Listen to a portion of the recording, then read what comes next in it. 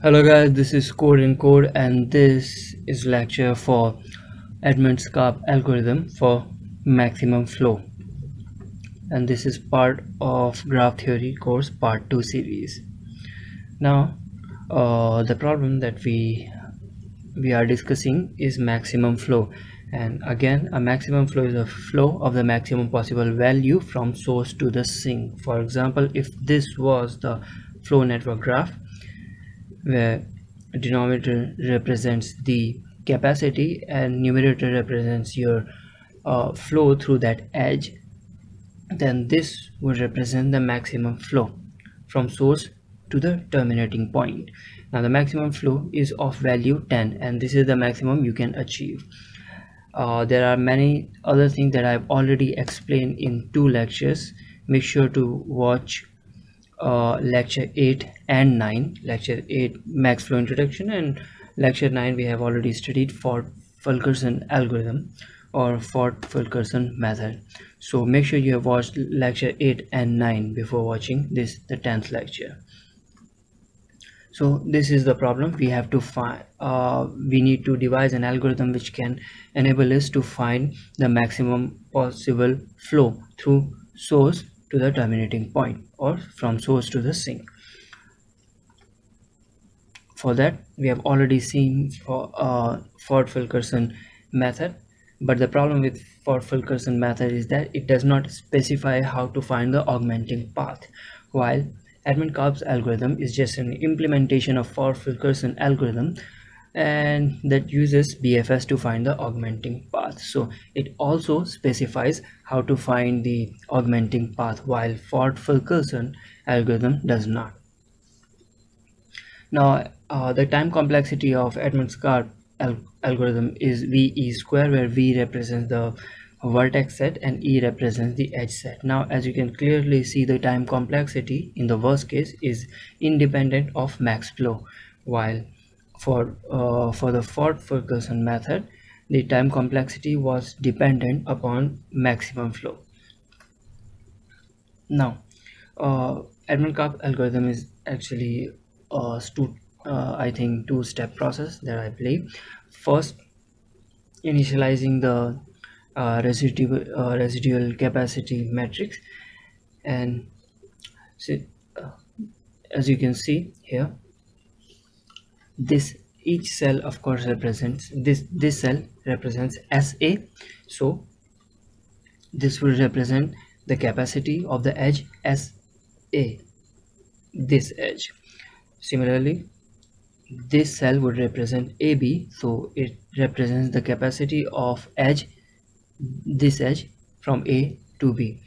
Now this represents the residual capacity of the whole graph. Now uh, as you might remember from the previous lecture we have seen what is residu uh, the residual capacity residual graph reverse uh, residual capacity. So i hope you have watched the previous lecture because there are many things that you must know.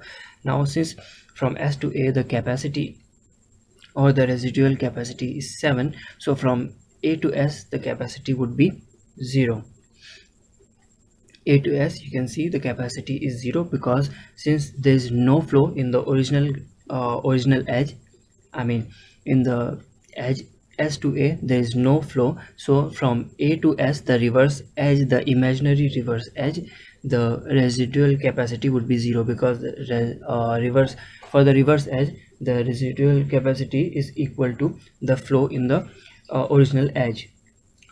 Now after step one step two is the finding the augmenting path. Keep finding the augmenting path till we have one.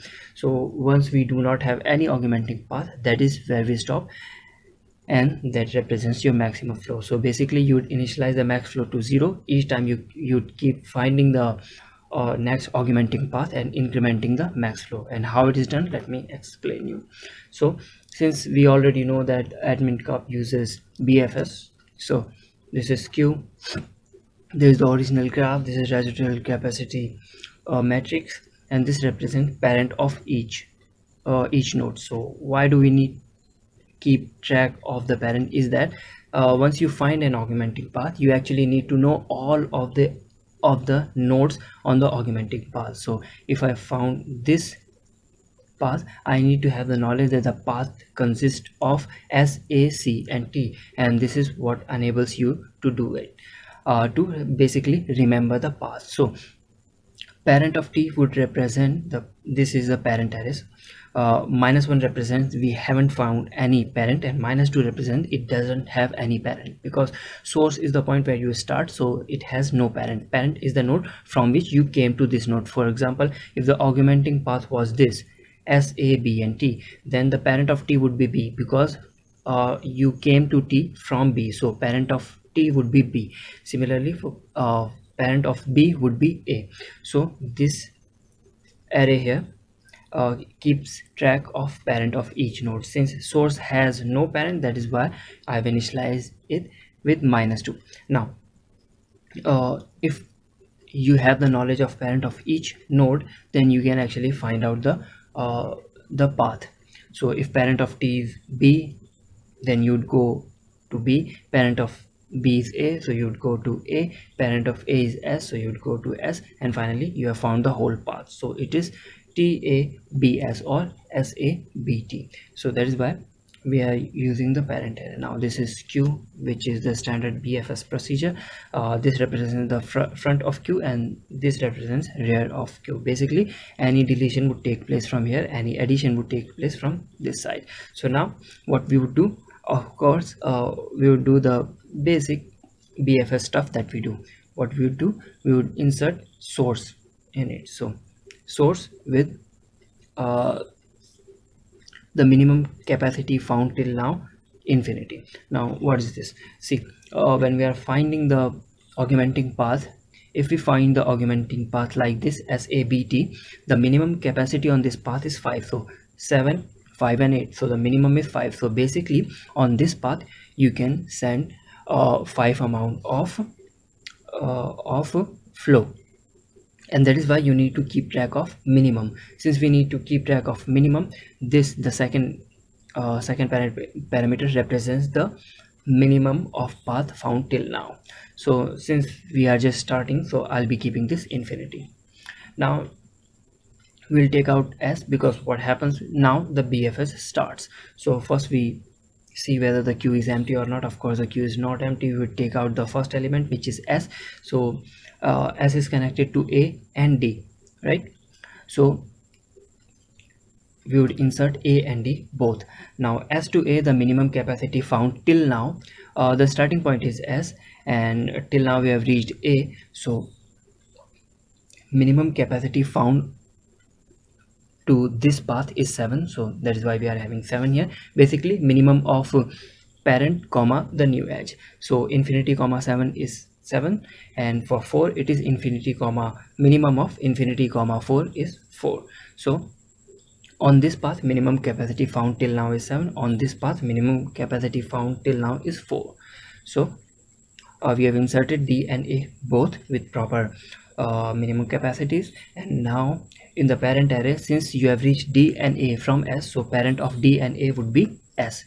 So parent of d and parent of a is uh, is updated to s now again we'll see whether the queue is empty or not. Of course the queue is not empty so you take the first element out which is a comma 7 and then you see that uh, what are the nodes which are a connected to. A is connected to b c uh, because we are taking out first which is a comma 7 so a is the next node we are working with. So a is connected to s D, C, and B. Yeah, one more thing. Uh, when working with Edmonds-Karp's, we would assume that the graph is actually undirected. Reason, of course, because we have both the edges. If we have one edge, we have both the edges because we are assuming there is an imaginary reverse edge, and that is why we are considering it as uh, uh, undirected graph. So S is, is connected to S, D, C and B but the problem with S and D is that they are already visited. How do we know that?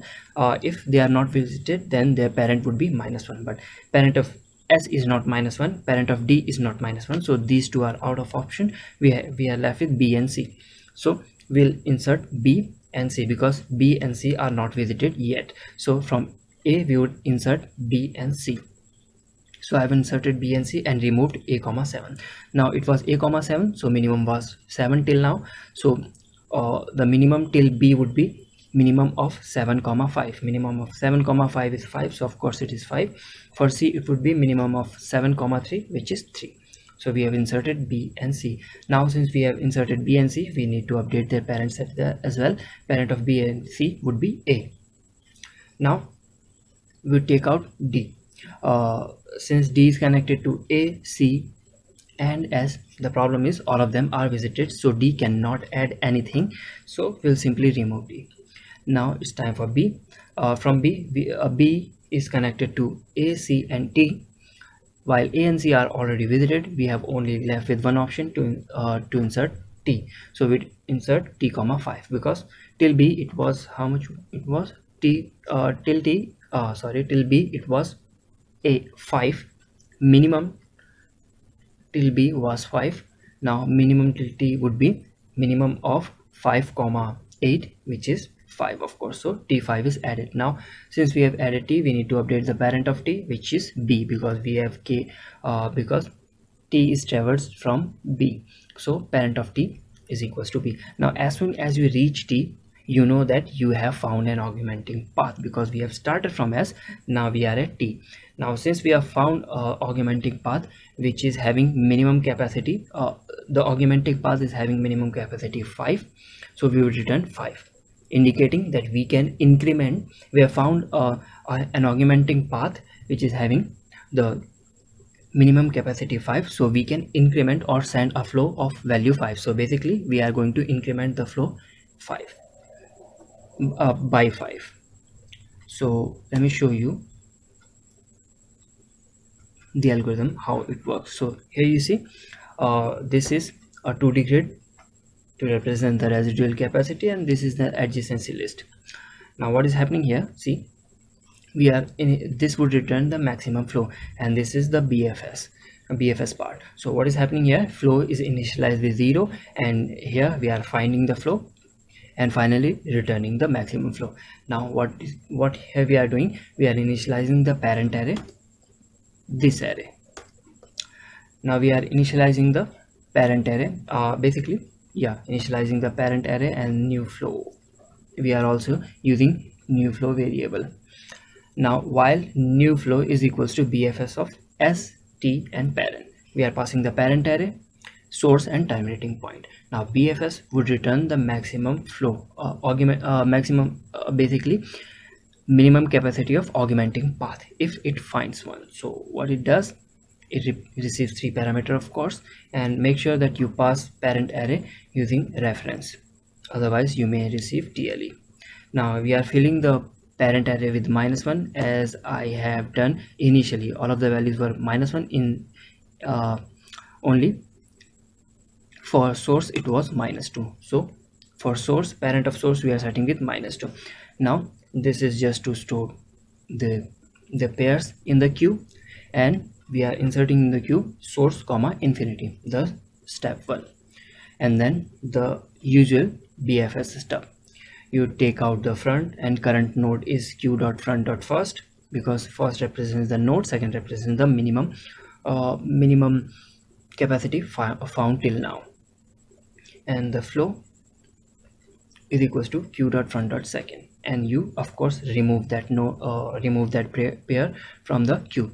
And for each node in the adjacency list of current node what we would do we would see whether its parent is equals to minus one. If its parent is equals to minus one and the capacity the residual capacity is positive so it is checking for the residual capacity to be positive. If both the condition are true basically you for example if i go back here if i take out b in the adjacency list of b i have c a and t but uh, parent of c is not minus 1 parent of a is not minus 1 but parent of t is minus 1 as you can see so i can go to t. And residual capacity of b comma t is actually positive. That is why i can actually insert it into the queue so first i'll be setting the parent of it and then we'll be calculating the new flow would be the flow found till now comma the new capacity. Basically you are calculating the minimum of b comma t right? So new flow would be uh, the minimum of flow found till now comma the cap uh, the residual capacity of the edge current comma next. If you have found if the next node is actually terminating point then we are going to return the new flow. Otherwise we are going to insert it into the queue if after running this while loop we haven't found any augmenting path if you haven't found any augmenting path this line won't be executed. Basically you'll end up here. If you end up here basically you have not found any augmenting path and that means your graph doesn't contain any augmenting path. If your graph doesn't uh, contain any augmenting path you would return zero. So that explains this while condition. So if bfs returns zero so a new flow would be zero. If in the condition you have passed zero you would basically terminate. So if you have found no augmenting path it would return zero. And if it returns zero this while loop will stop. So basically we are stopping when we don't find any augmenting path otherwise it returns the new flow. If you have found the new flow what you would do you would uh, in the flow you would add the new found flow. And then we need to update the residual graph. Let me show you how the residual graph is updated. So let's go and update update the residual capacity graph. So what would happen? Uh, to update it we need to find the path augmenting path. And since we have found this augmenting path which is uh, which uh, using which we can increment the flow by 5 so basically we need to reduce the capacity of this path by 5 and also increment the flow through these edges by 5 right? So initially the current node is going to be terminating point. So parent of t is b.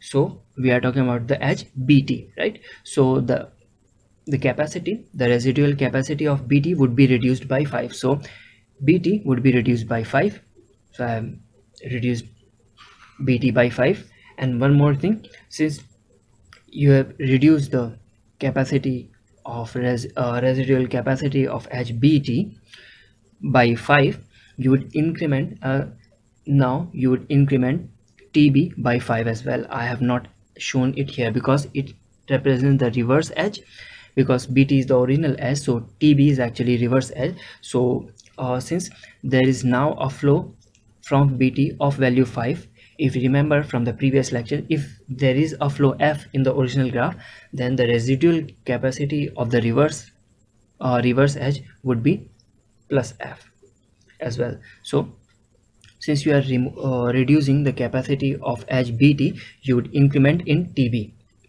so this would be plus 5 0 plus 5 uh, I haven't shown that about the reverse edge and that you can found uh, you can see here. So current is equals to t basically your terminating point while current is not equals to s because s does not have any parent. So while current is not equals to at what you would do you would find the parent of it which is called pre previous here. And the capacity of previous comma current would be decremented by flow and capacity of uh, current comma previous basically the reverse edge would be incremented by the new flow. And of course current is equals to previous. So current was a now current would become b. Because now we have taken care of this edge now i'm here and i'll be taking care of this edge. How? Now current is equals to b. The parent of b is equal to a. So now i need to reduce the uh, residual capacity of edge ab so what are you be doing? In the AB cell I'd be reducing it by 5 so it would become 0 and also in BA I need to increment by 5 because it represents the reverse edge.